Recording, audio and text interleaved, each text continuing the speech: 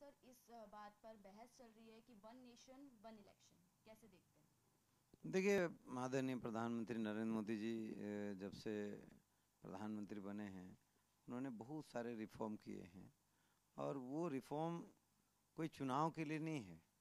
वो देश हित में होता है और जन जन के हित में होता है। आज देश की जो विकास की गति है, वो दुनिया की सबसे फास्टेस्ट ग्रोइंग इकोनॉमी बन गया है। और वो ये चाहते हैं कि ये दुनिया का फास्टेस्ट ग्रोइंग इकोनॉमी जो है, ये बनी रहे। उसके लिए उन्होंने कहा कि देखिए, साल में अगर तीन, चार, पाँच चुनाव होंगे तो चुनाव में सारी ताकत जो है, शक्तियाँ जो हैं, उसमें नुकसान हो जाता है।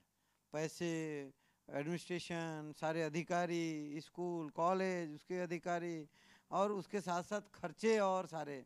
और लोकतंत्र की जो मर्यादा है, उसको लोग पार करके एक दूसरे को कोसने में लग जाते हैं। ऐसा लगता है कि देश में कोई युद्ध सा हो रहा है और उससे बड़ी नुकसान होती है। तो मुझे लगता है कि उनका जो एक ये था कि देश हित में one nation one election panchayat से लेके लोकसभा का इलेक्शन विधानसभा का इलेक्शन और कोई भी इलेक्शन है, सारे इलेक्शन म्यूनसिपल का जो भी देश भर में इलेक्शन है, वो सब एक साथ हो। उसके लिए डॉक्टर सुभाष कश्यप जी ने जो संविधान के विशेषज्ञ हैं, उन्होंने भी कहा था कि अगर इसको वन नेशन वन इलेक्शन करना है तो थोड़ा समय लगेगा। जैसे अब अभी अभी जिन राज्यों में चुनाव हुए होंगे, इसी वर्ष। अब उसको भंग करके अभी चुनाव करना तो वो कहीं ना कहीं उसको शायद लोग नहीं मानेंगे। तो इसको उन्होंने कहा कि भाई तीन चार साल में ये वन नेशन वन इलेक्शन हो सकता है। पहले वन ईयर वन इलेक्शन एक साल में एक चुनाव हो। इस प्रकार का एक सहमति भी बन रही है। अच्छा कुछ पॉलिटिकल लीडर्स हैं, उन्होंने कहा कि ये इसको हाथों हाथ लिया बहुत सराहा भी। और अभी नेशनल लॉ कमीशन के साथ लगातार बैठक चल रही है।